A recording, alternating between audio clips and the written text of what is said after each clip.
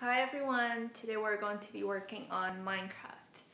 Um, what's challenging about this piece is that it has a lot of tempo changes and a few meter changes. So I'm going to walk you through the overall structure a little bit. Um, in the beginning moderato, uh, we have quarter note equals to 120. And then going on in measure 17, the a la march, we have um, quarter note equals to 108. And then measure 39, the slowly part, we have quarter note equals to 52.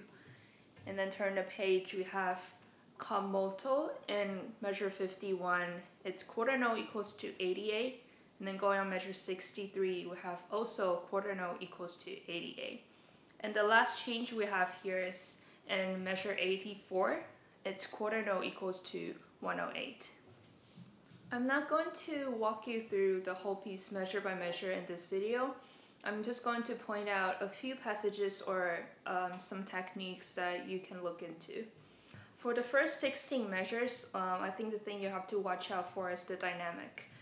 Um, in the beginning we have piano, and then four measures later we have mezzo piano, and then mezzo forte, and then forte.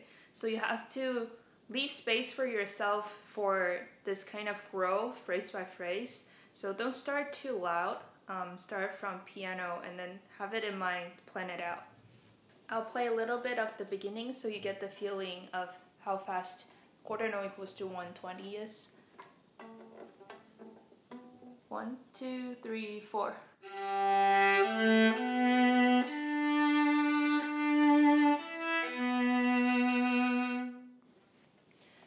Next thing you have to look into is measure 16 going into 17. Um, we are going from arco to pizzicato. So pizzicato, again, is when you use your right hand to pluck the string. And we're plucking around this area on the fingerboard. In your right hand, for me, I extend my index finger and still hold the bowl with other fingers. Just extend your index finger and then pluck the string. And for this passage, um, starting from measure 17, I think one thing that can help you to have a clear, more articulate um, pizzicato is when you rest your finger on the string before you pluck it. So during the quarter rest, prepare your finger on the string and then pluck. So starting from measure 17, I'll play for two measures. One, two, three, four. Rest, pluck, rest.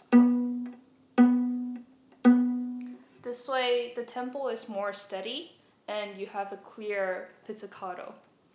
Starting from the third beat of measure 26, we finally have melodies on our part.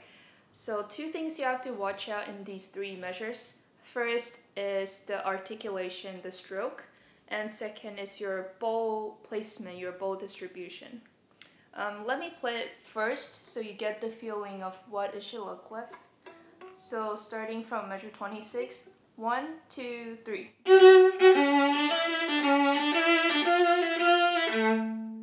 Take a close look at the fourth beat of measure 26. We have slur but also dots under it. So that means you have to articulate both notes within the slur.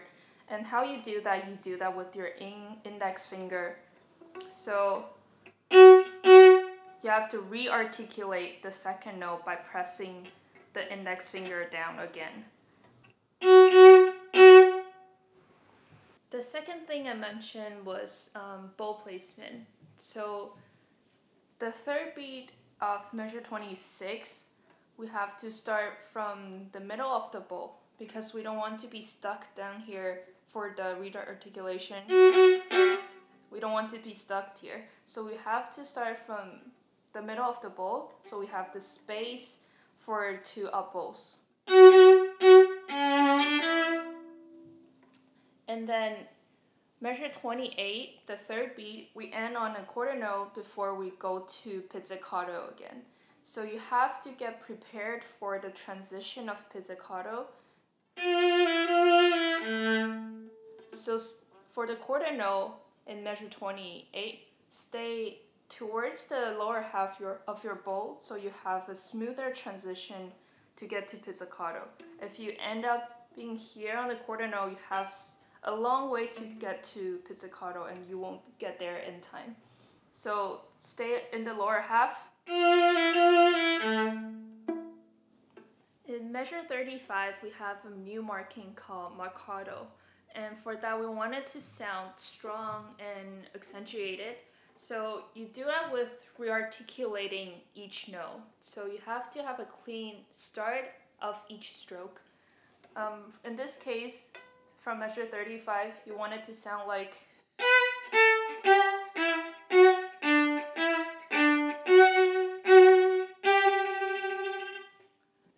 by giving a little gap between notes, you can have, a, have the time to prepare for the beginning of each stroke. So the hard part would be, the challenging part would be coming from up bow. So have a bite, have a um, nice grip of the string before you start. To give it the clean and strong feeling. Starting from measure 39, watch out for the key change. We no longer have F sharp here. And this is a pretty lyrical part, so make sure you have a smooth bow change um, and string crossing. Measure 51, it's the similar pizzicato section again, so I won't repeat myself. And then going to 63, it's again the more lyrical part. And if you can go listen to the music, um, you'll hear that we're basically playing with cello. So in this part, imagine that someone's pushing you on the first beat and you're coming in on the second beat. So the phrase is longer and you get the flow of this whole passage. And then one thing to watch out for is measure 73. We only have two beats in this measure for the crescendo. So it's one, two, three, four, one, two, and then one, two, three, four. So watch out for this meter change here. And then measure 84, it's the marcato section again, but also it has 7, 4. That means we have 7 quarter notes in one measure.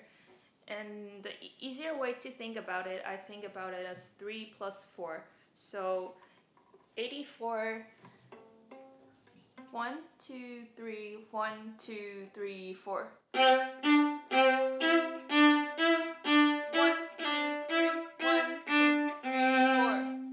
So you can have that in mind. You'll less likely to lose track of where you're at. And in the last measure, um, we have a retard here, but on top of that, we have a retake. We want the last note to start from a down bow. So the beginning of this measure, and then the last note, we want a retake of down bow. So second to the last note, we have down bow, and then retake again down bow,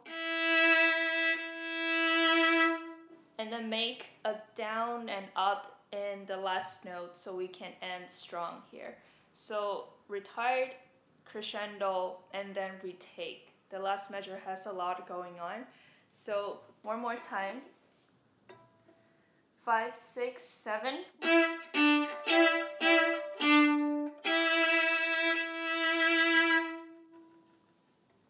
And let it ring at the end.